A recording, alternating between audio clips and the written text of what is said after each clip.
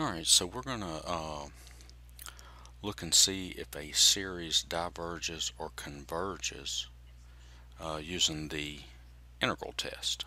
Okay, so here's what it says. It says if f is positive, continuous, and decreasing for x greater than or equal to 1 and a sub n equals f of n, okay, then the series n goes from 1 to infinity, a sub n is equal to the integral from 1 to infinity of f of x dx. Okay? And either both converge or both diverge. So basically what we're going to do is we're going to we're going to change the series into this integral here and we're going to determine if it diverges or converges okay by taking the limit I'm, I'm sorry, by not by taking the limit, by integrating this. Okay. And of course, if if this integral goes to infinity, then it's going to diverge. And if this integral here actually equals a number, then it converges. Okay. So let's go ahead and take a look at our first one.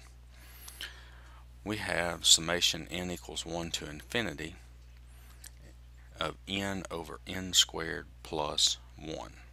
Okay, so what we're going to do is we're going to say f of x equals n over n squared plus 1.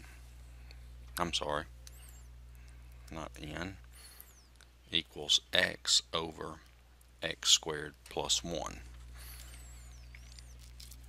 Okay and you can see that a sub n which is this would equal f of n. See if I replace the x's with an n it would equal this.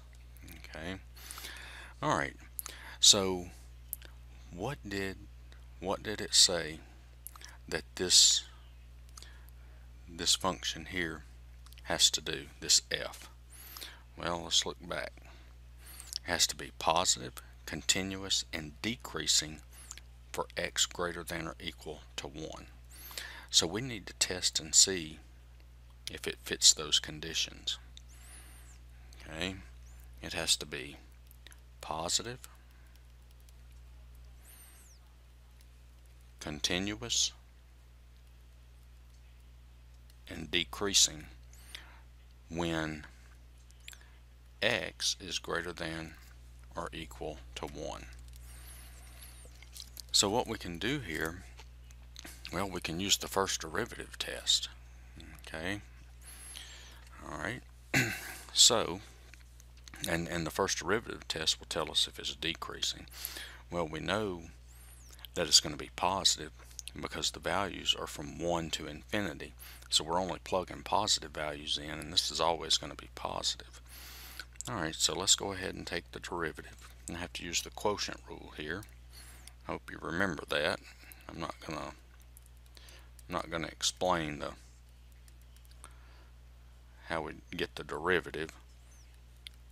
You should know how to do the uh, quotient rule.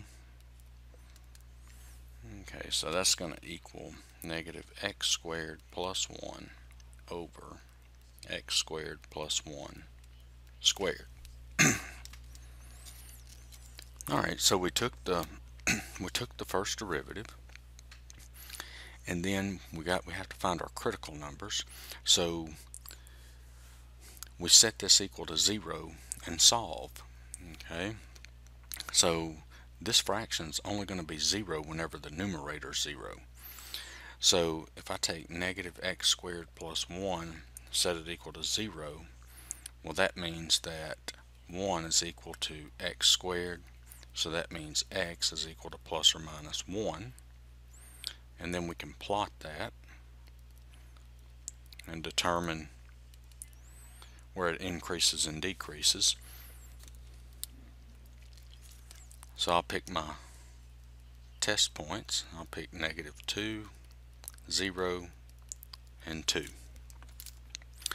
So if I plug the negative 2 in, well, the numerator is going to be um, ne uh, negative and the denominator is going to be positive. So that tells me that this thing is decreasing. And then if I plug the zero in that's going to be a positive over a positive which is positive so that means it's increasing. And then when I plug the 2 in that's going to be a negative up here and a positive down here. So you can see it is decreasing from 1 to infinity alright so now and, and we can see that it is continuous from 1 to infinity also. Okay it's also continuous. Alright so now so it fits the it fits the conditions for the integral test. So let me go ahead and erase all this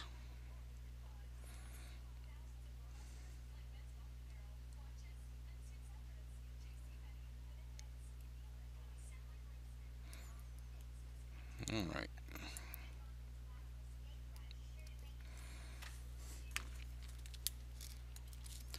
Alright, so now what we're going to do is we're going to take the limit.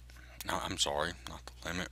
We're going to take, we're going to integrate from 1 to infinity. Now I'll erase the f of x. f of x is equal to x over x squared plus 1. So we're going to integrate that with respect to x. Okay. Now, I'm not going to go over finding the antiderivative of this. Um, basically, what you would have to do is use u substitution.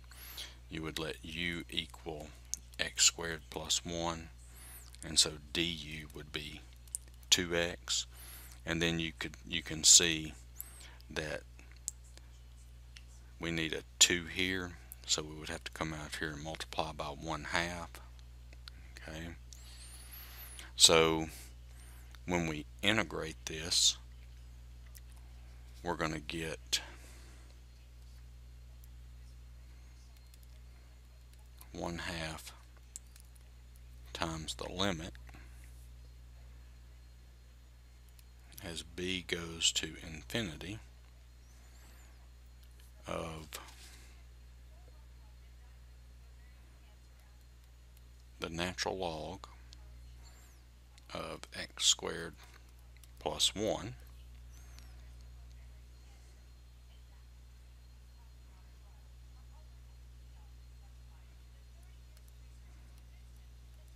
and we're going to integrate that from 1 to b. Alright. So we can rewrite this as, let's see, how about we rewrite it 1 half the limit as b goes to infinity of the natural log of x squared plus 1 from 1 to b. Okay.